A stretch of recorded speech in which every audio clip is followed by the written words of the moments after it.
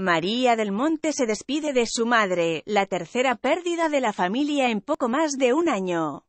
La cantante estuvo arropada por sus allegados este domingo en el tanatorio.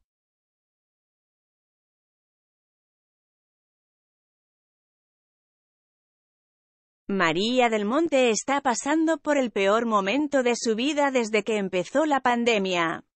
En poco más de un año, perdió a tres seres queridos y pilares fundamentales en su vida, sus hermanos y su madre.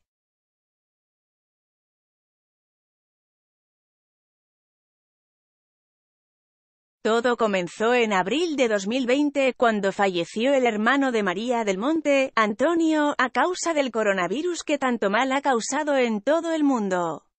Antonio era uno de sus mayores apoyos y tenía una excelente relación, por lo que supuso un gran revés para la cantante, quien lo despidió en su cuenta de Instagram con una emotiva carta.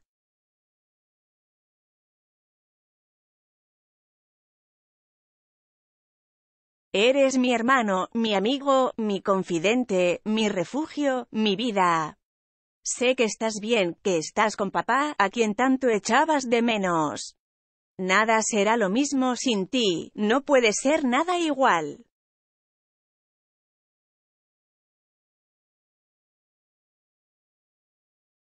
El fallecimiento de Antonio a los 65 años se produjo mientras María del Monte pasaba el confinamiento junto a su madre, Viviana, pero la sevillana tuvo que afrontar otro gran revés para la familia y por el mismo motivo.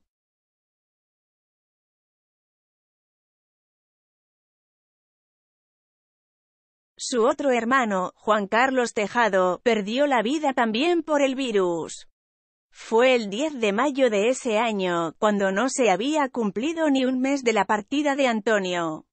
Como un ciclo que se repite una y otra vez, pero María del Monte ya no estaba dispuesta a perder a más familiares, hasta que, luego de un año de paz tras los fallecimientos de sus consanguíneos, llegó el peor día.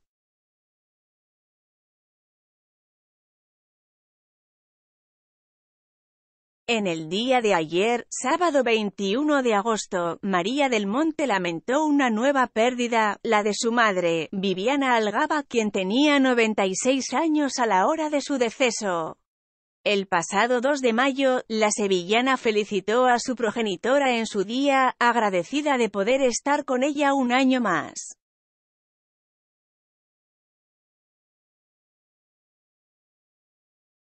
Toñi Moreno, gran amiga de María del Monte, anunció la noticia en Viva la Vida, en un estado de conmoción porque siempre le hacían bromas diciendo que la matriarca los enterraría a todos, ya que, a su edad, se mantenía bastante bien.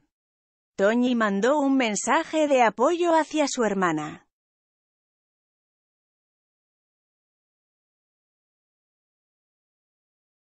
Es una noticia que, no por esperada, es menos dolorosa. Estaba malita desde hace tiempo. Era una mujer con una vitalidad.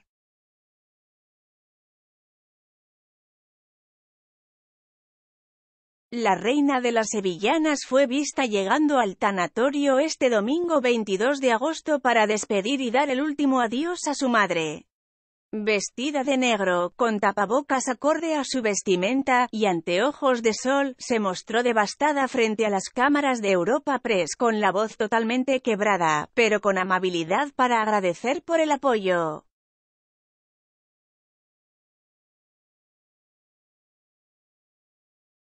Se ha ido tranquilita en casa, rodeada de amor, de lo que ha tenido siempre.